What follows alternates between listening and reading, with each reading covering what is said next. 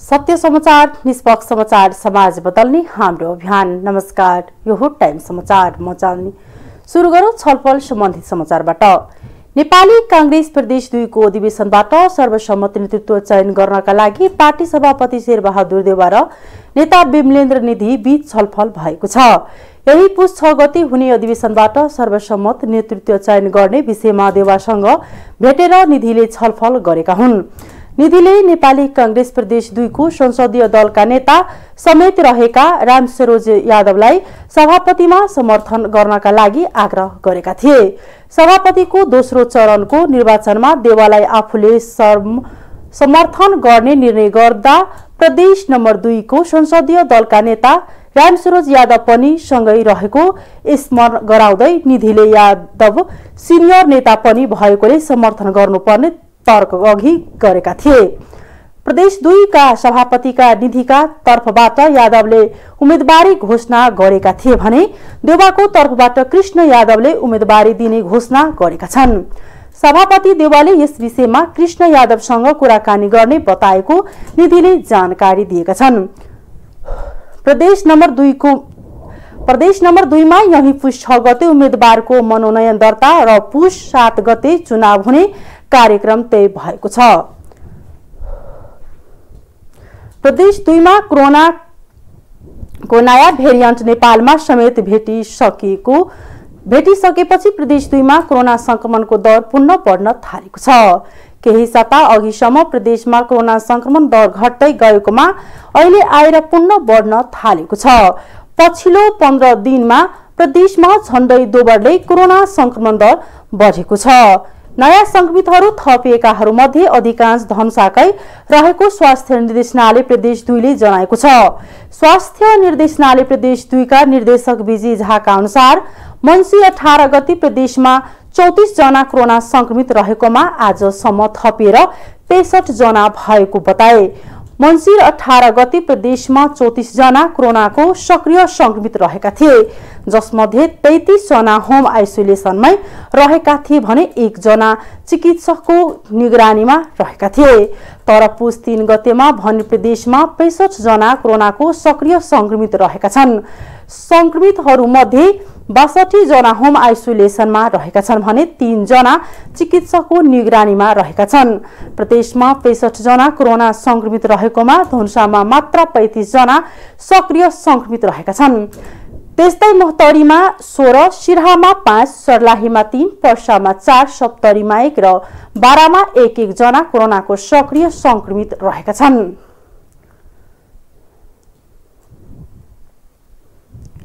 सरकारले आइतबारदेखि सन्तावन जिल्लाका बाह्र वर्षदेखि सत्र वर्ष उमेर समूहका विद्यार्थीहरूलाई कोरोना भाइरसको विरुद्धको खोप लगाउँदैछ। स्वास्थ्य तथा जनसङ्ख्या मन्त्रालयले मोडर्ना खोपको पहिलो मात्रा यही पुष चारदेखि चौध गतिसम्म विद्यार्थीलाई लगाउने भएको मन्त्रालयका प्रवक्ता डाक्टर सङ्गीता कौशल मिश्रले जानकारी दिए। उनका अनुसार प्रदेश नम्बर एकको ताप्लेजुङ सखुवा सभा ओखलझुङ्गा खोटाङ भोजपुर धनकुटा तेह्रथुम पाँचथर इलाम र उदयपुर प्रदेश नम्बर दुईको सिराहा महतरी सर्लाही रौथट र बारा जिल्ला स्थित विद्यालयका विद्यार्थीहरूलाई खोप लगाइन्छ। यस्तै मन्त्रालयले यही पुस तेह्रदेखि बाइस गतिसम्म काठमाडौँ ललितपुर भक्तपुर काभ्रेपाल्चोक चितवन सिन्धरी डलिलधुरा र सुर्खेतका बालबालिकालाई फाइजर खोपको पहिलो मात्रा सञ्चालन गर्दैछ। ती जिल्लामा दोस्रो मात्रा भने माघ चारदेखि तेह्र गतिसम्म सञ्चालन हुने मन्त्रालयले जनाएको छ।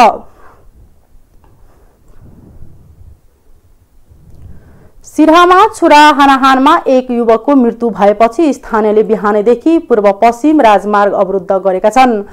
घटना विरोधमा स्थानीयले बिहानैदेखि गोल बजार स्थित पूर्व पश्चिम राजमार्गमा ठाउँ ठाउँमा टायर बालेर प्रदर्शन गरेका छन्। सिराहाको गोल बजार नगरपालिका छ डोहटिया टोलका स्थानीय छब्बिस वर्षीय रामकुमारी सदाको शनिबार साँझ छुडा प्रहारबाट मृत्यु भएको थियो भने स्थानीय उन्नाइस वर्षका युवक निकेश सदा गम्भीर घाइते भएका छन्। उनको उपचार मेडिसिटी अस्पतालमा भइरहेको छ।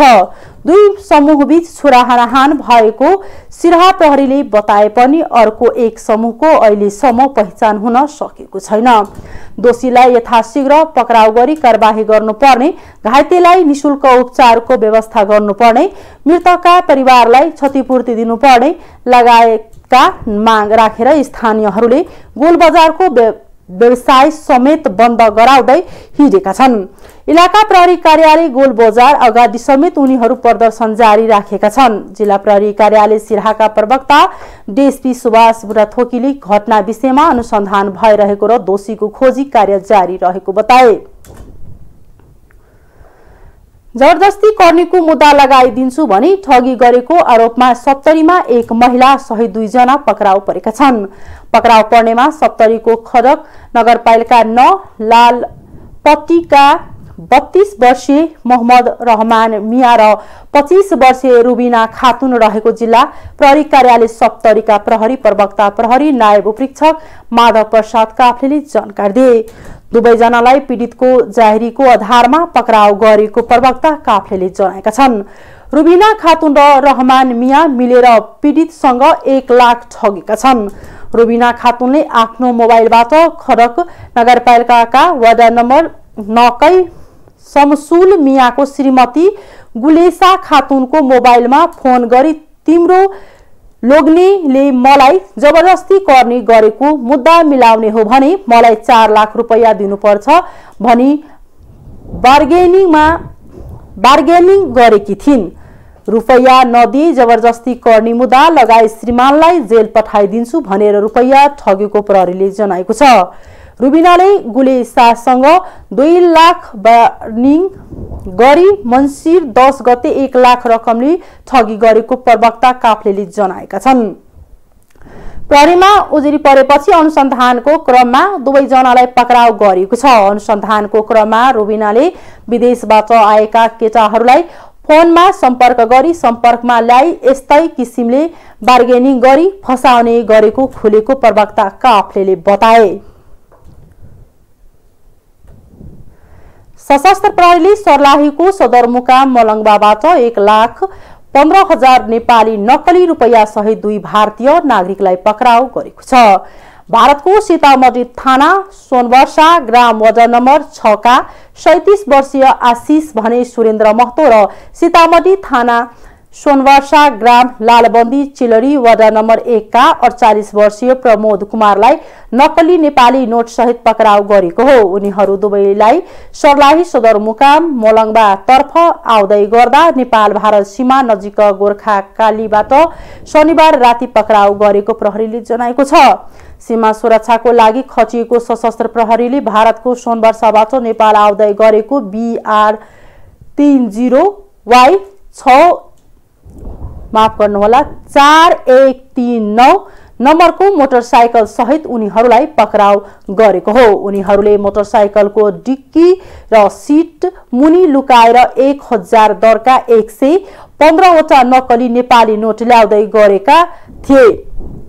प्रहरीले उनीहरूको साथबाट थप्प सडचालिस लाख पाँच सय दस भारतीय रुपियाँ समेत बरामद गरेको छ। भारतीय रुपियाँ सक्कली भए पनि त्यसको थप अनुसन्धानको लागि नेपाल प्रहरीको जिम्मा लगाएको बताएको छ। नेपालका किराँत समुदायको मुख्य पर्व उधौली पर्व काठमाडौँ लगायत देशभर आज मनाइँदैछ। नेपाली किराँत समुदायका विशेष गरी राई लिम्बू याख्या सुनबार थामी सुरेल जिरेल हायु छन्त्याल धिमा धिमाल लगायत जात जातिको मुख्य पर्वको रूपमा रहेको उधौली पर्व देशभर पूजा आज गरी मनाइँदैछ।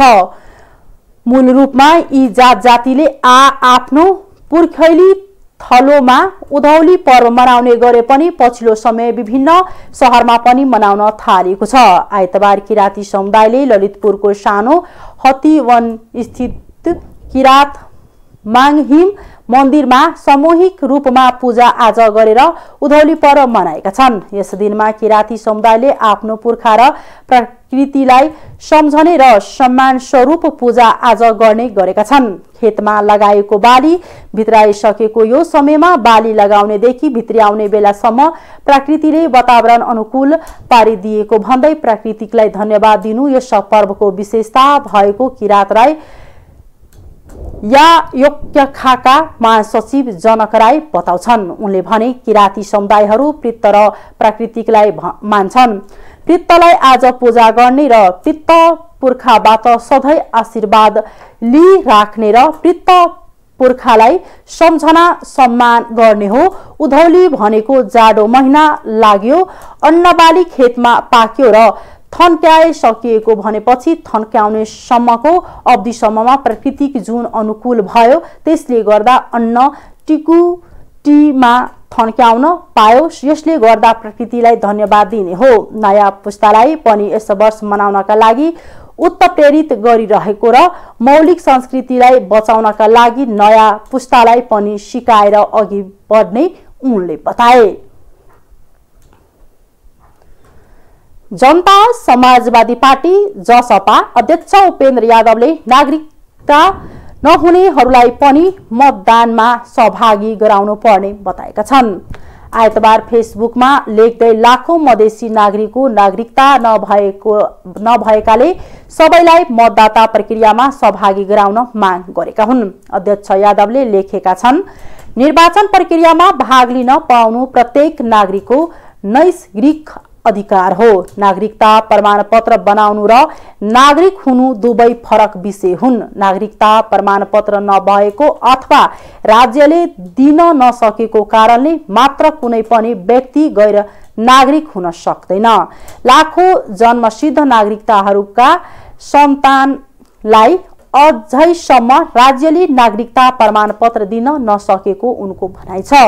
लाखौं मधेसीलाई नागरिकता प्रमाणपत्र राज्यले प्रदान गरेको छैन। यस्तो अवस्थामा निर्वाचन आयोगले नागरिकता प्रमाणपत्र नहुनेको नाम मतदाता नामावलीमा समावेश नगर्नु मतदान गर्न पाउने अधिकारबाट वञ्चित गर्नु निर्वाचन प्रक्रियामा सामेल हुनबाट रोक्ने कार्य अवैधानिक हुनका साथै अन्तर्राष्ट्रिय कानून विपरीत र मानवता विरोधी कार्य हुन उनले लेखेका छन्।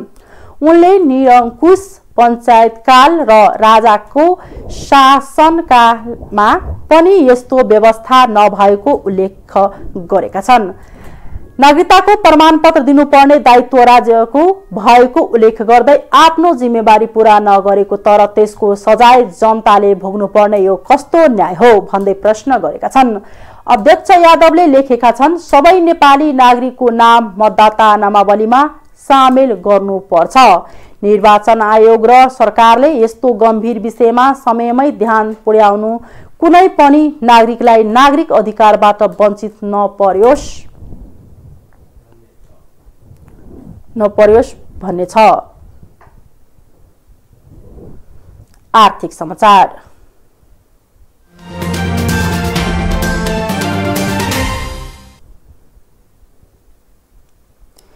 नेपाल खाद्य व्यवस्था तथा व्यापार कम्पनी लिमिटेड शाखा कार्यालय महेन्द्रनगर।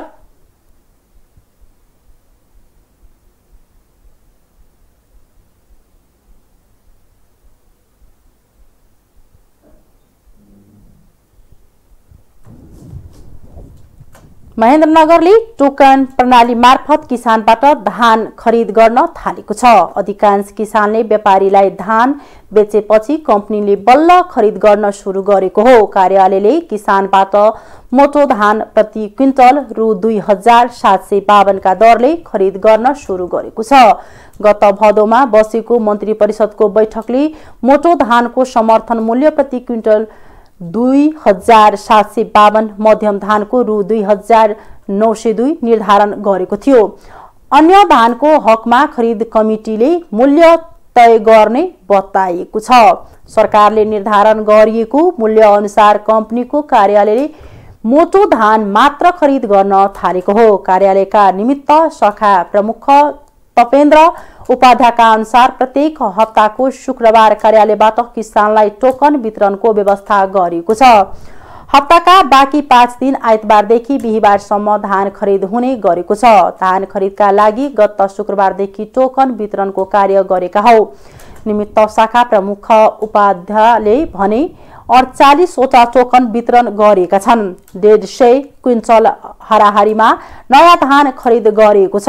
केन्द्रीय कार्यालयबाट मोटो धान खरिदका लागि स्वीकृति पाए अनुसार किसानबाट सो धान मात्रै खरिद भइरहेको उनले बताए। एकजना किसानबाट अधिकतम तीस क्विन्टल धान खरिद गर्छ उनले भने तोकिएको परिणाम भन्दा बढी धान किसानसँग छ भने जग्गाधनी प्रमाण पूर्जा नागरिकताको प्रतिलिपि सहित कृषि कृषि ज्ञान केन्द्रको सिफारिस माग्ने गरेका छौँ। व्यापारीले चलखेल गर्न सक्ने भएकाले सहज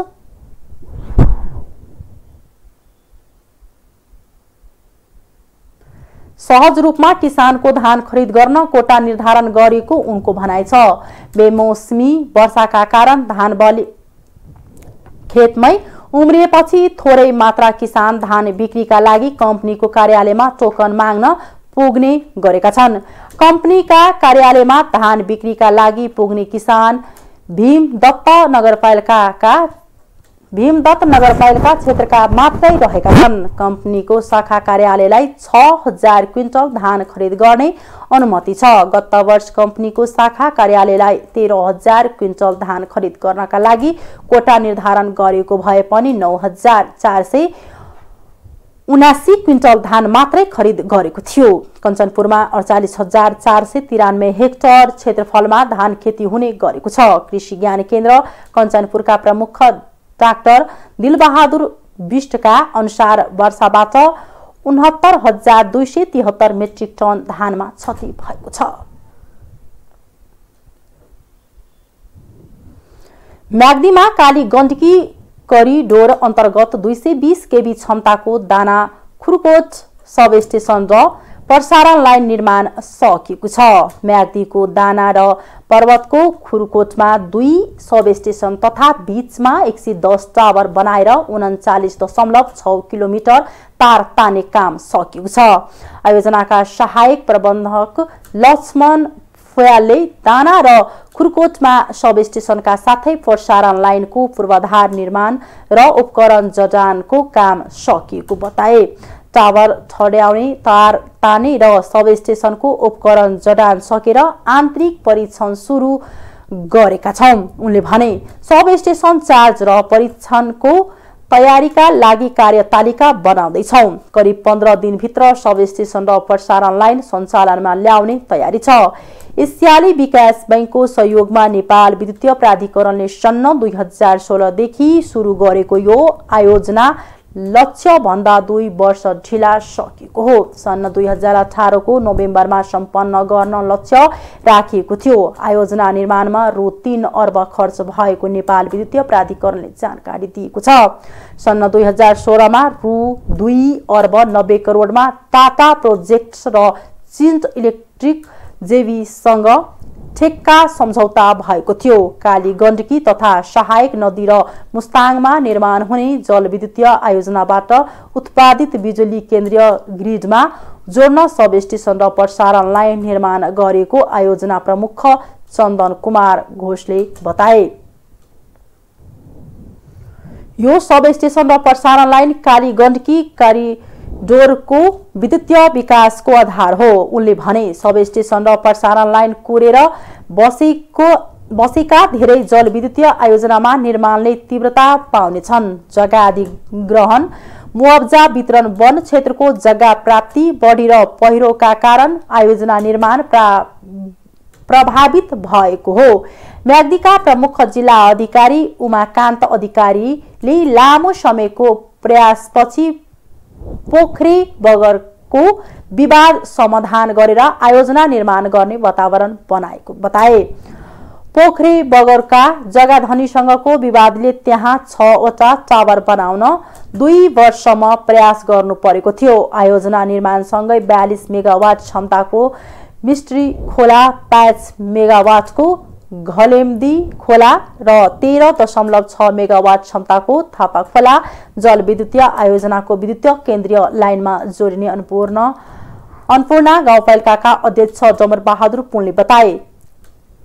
थापा खोला र घलेम्दी यसअघि नै निर्माण सम्पन्न भए पनि प्रसारण लाइनको अभावमा पूर्ण क्षमतामा सञ्चालन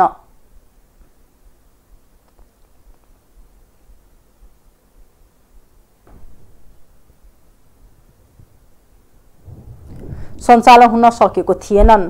निर्माणको अन्तिम चरणमा पुगेको मिश्री खोला जलविद्युतीय आयोजनाले संरचनाको परीक्षण सुरु गरेको छ। अन्तर्राष्ट्रिय समाचार।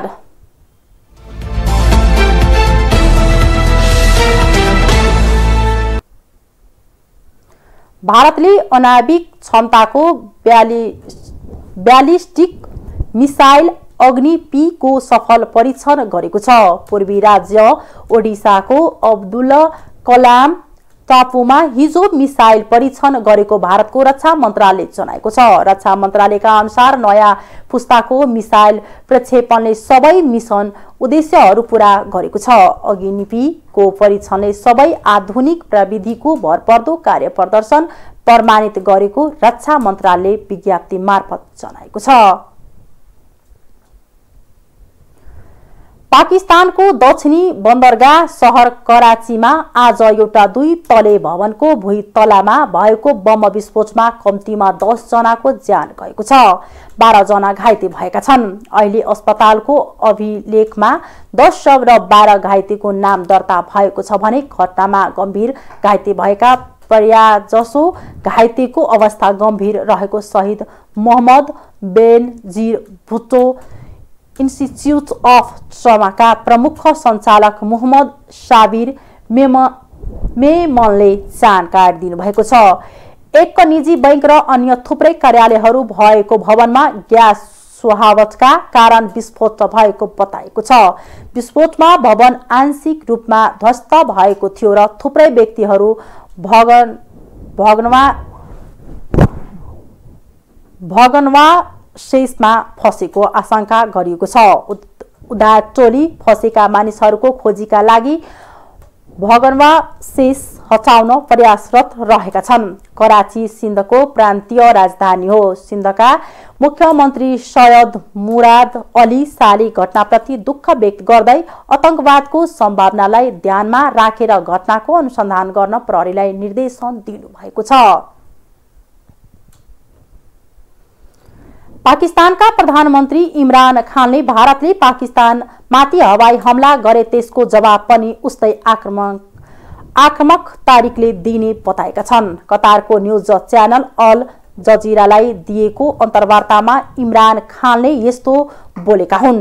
इमरान खानले भारत र पाकिस्तान बीच आणविक युद्धको सम्भावनालाई लिएर भने यदि भारतले हवाई हमला गरे उसलाई फरवरी दुई हजार उन्नाइसमा दिएको जस्तै आक्रमण जवाब दिइनेछ यदि भाजा भाजपाको फाँसीवादी सरकारले पहिले जस्तै यस्तो हमला गर्यो भने दुई अनाविक शक्ति आम्ने सामने हुनेछन् र परिणाम भयावह हुनेछ भने डर छ कट्टर माने मात्र सोच्न सक्छ।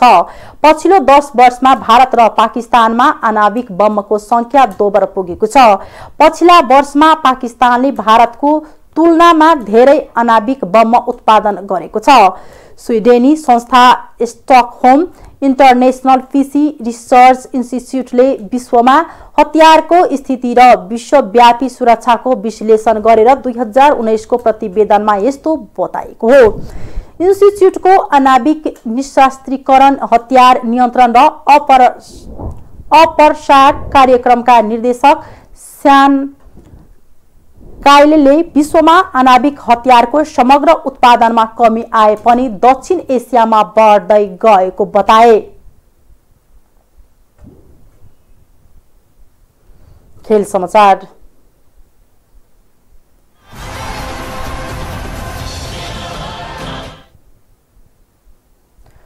लुम्बनी प्रदेश कैलालीको धनगढीमा भइरहेको प्रधानमन्त्री कप महिला राष्ट्रिय क्रिकेट प्रतियोगिताको सेमिफाइनलमा प्रवेश गरेको छ। प्रतियोगिताको दोस्रो दिन आज भएको पहिलो खेलमा जित हात पार्दै लुम्बिनी प्रदेश सेमी फाइनलमा पुगेको छ। लुम्बिनीले कर्णाली प्रदेशलाई दस विकेटले हराउँदै अन्तिम चरणमा स्थान सुरक्षित गरेको छ। कर्णालीले दिएको अठार रनको लक्ष्य लुम्बिनीले तीन दशमलव एक ओभरमा बिना विकेट क्षतिमा जित भेटायो। दोस्रो खेलमा बागमती प्रदेश र प्रदेश नम्बर एक खेल्नेछन्। नेपाल क्रिकेट सङ्घको आयोजना र सुदूरपश्चिम प्रादेशिक क्रिकेट सङ्घको स आयोजनामा सञ्चालन भइरहेको प्रतियोगिता पुष एघार गतेसम्म सञ्चालन हुनेछ। सात प्रदेश र एक विभागीय गरी आठ समूह सहभागी प्रतियोगिता दुई समूहमा विभाजन गरी खेलाउ खेलाइँदैछ। समूह एमा प्रदेश नम्बर एक लुम्बिनी प्रदेश बागमती प्रदेश कर्णाली प्रदेश र समूह बीमा नेपाल।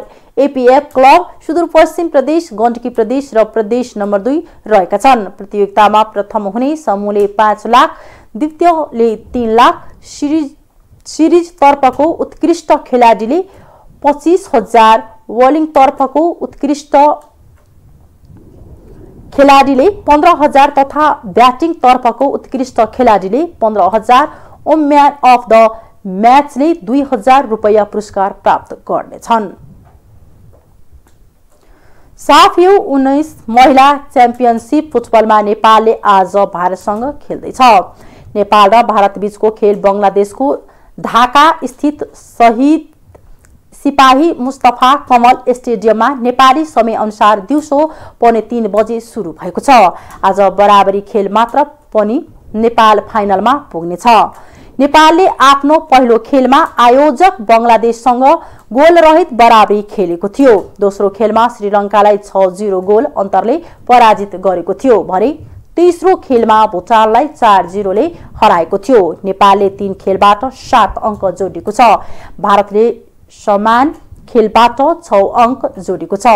समान अङ्क भए पनि बङ्गलादेश गोल अन्तरका आधारमा नेपालभन्दा पछाडि छ। नेपाल सहित भारत भुटान श्रीलङ्का र बङ्गलादेश गरी पाँच टोली सहभागी प्रतियोगिताका शीर्ष दुई टोली फाइनल पुग्नेछन्।